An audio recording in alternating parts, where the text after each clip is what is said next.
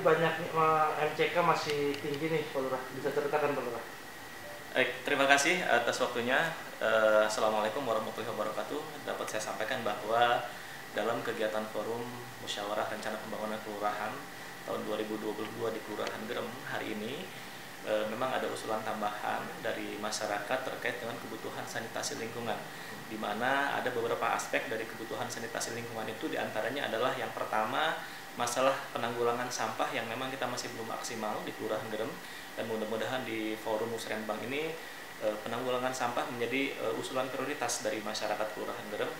Dan kemudian poin yang keduanya yang tidak kalah pentingnya adalah masalah eh, kepemilikan MCK Eh, dapat kami sampaikan bahwa memang eh, masih ada warga masyarakat Kelurahan Gerem yang eh, masih belum memiliki MCK terutama di daerah-daerah di perbukitan yang memang dalam hal penyediaan air bersihnya masih ada keterbatasan. Jadi mudah-mudahan kita nanti di Perumus Bangkel ini juga mencari solusi bagaimana supaya di daerah perbukitan bisa eh, ada fasilitas air bersih sehingga masyarakat bisa eh, membuat MCK dan stop BAT sembarangan. Masalah banjir, Banjir, Pak. banjir, Tadi Pak. disebut juga banjir Pak.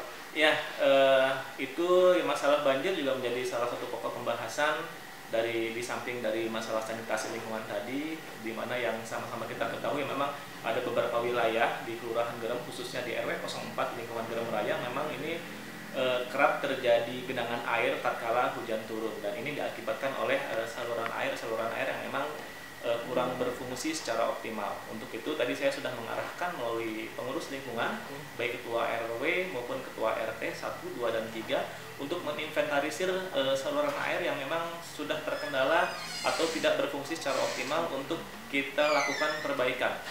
Perbaikan itu bisa kita upayakan secara mandiri melalui gotong royong apabila itu memang eh, kerusakannya hanya tersumbat atau kerusakan ringan. Tapi kalau sudah kerusakan yang berat mungkin kita akan berkoordinasi dengan Dinas PU Kota Cilegon. Siap.